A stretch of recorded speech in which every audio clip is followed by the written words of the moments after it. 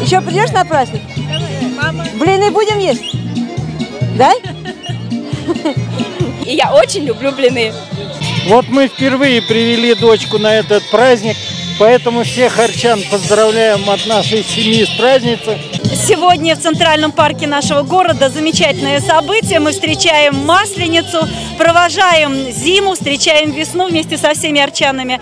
Организация этого праздника задолго планировалась. Работали несколько творческих площадок по разработке этого мероприятия. Я думаю, людям от мала до велику сегодня будет доставлено действительно удовольствие и возможность провести организованно семейный такой праздник, который они, я думаю, завершат дома за семейным ужином, с блинами, попросят друг у друга прощения. Ну и я, пользуясь случаем, прошу прощения у всех арчан.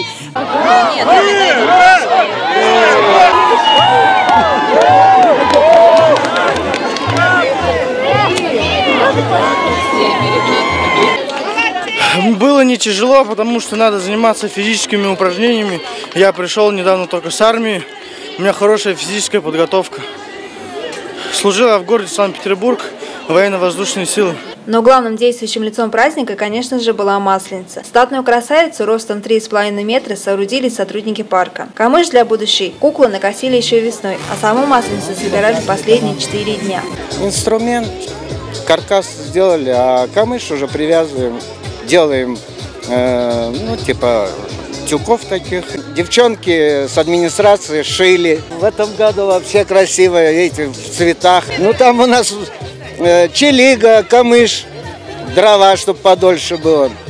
Будем поджигать, просто факела с двух сторон подожгем и потом только разбегаться, наверное, камыш горит, когда Владимир Иванович собирает масленицу уже седьмой год. То, что красавица сгорит, арчанина не смущает, ведь она унесет с собой все напасти и невзгоды прошлого. Резда Йобасарова, Владимир Маньковский, городской телеканал ЮТВ.